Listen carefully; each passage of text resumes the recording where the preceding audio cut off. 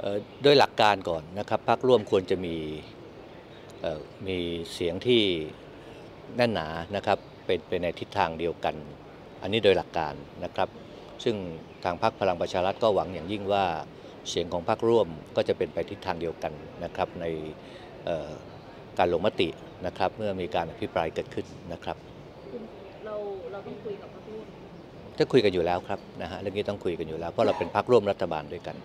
การยื่นยติก็ยื่นยติในในนามของรัฐบาลนะครับ แต่ว่าตัวบุคคลเป็นใครเท่านั้นเองนะครับ